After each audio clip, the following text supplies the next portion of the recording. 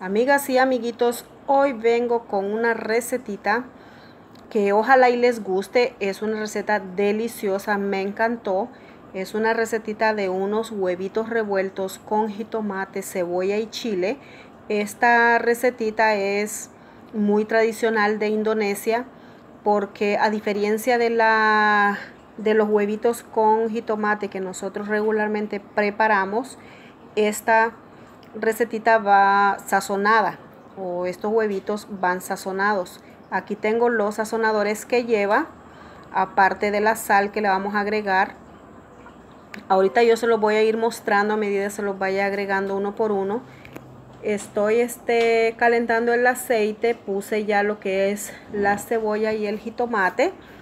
Después uh, voy a agregar los chiles. Los chiles son unas unas puntitas de unos chiles uh, cayenne o cayena, no sé cómo realmente se pronuncia ese nombre de esos chiles. Y los tengo también picaditos, voy a agregarlos en unos minutos. Lo tapé para que se cocinara más rápido porque eso tiene que quedar bien cocinadito. Le agregué un poquito de sal, y aquí le agrego lo que son los chilitos que les había dicho.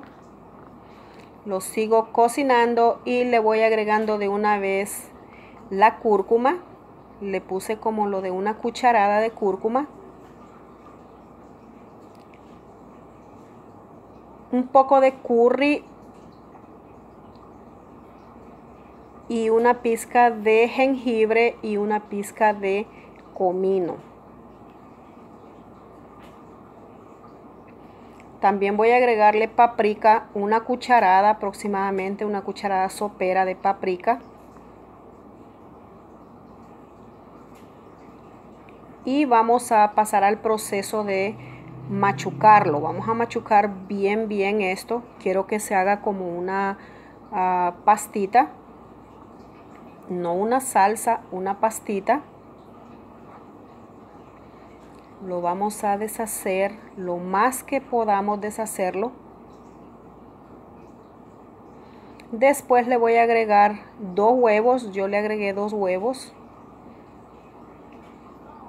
Vamos a mezclar muy bien los huevos con esta pastita, pero vamos a mezclarlo bien, bien, de modo que no se vaya cocinando el huevo y vayan quedando pedazos grandes porque no estamos haciendo el huevo con tomate que normalmente hacemos, donde buscamos que los pedacitos de huevo queden enteros. Aquí tiene que quedar así, miren, cremosito, el huevo bien deshecho, mezclado muy bien con la cebolla, el jitomate y el chile y el resto de los ah, sazonadores que le agregué. Así tiene que quedar, esto tiene que quedar como una pastita ah, no tan seca, un poco cremosa, de modo que se pueda embarrar muy bien en pan o, o se pueda hacer ah, en taquitos también, taquitos así como embarraditos.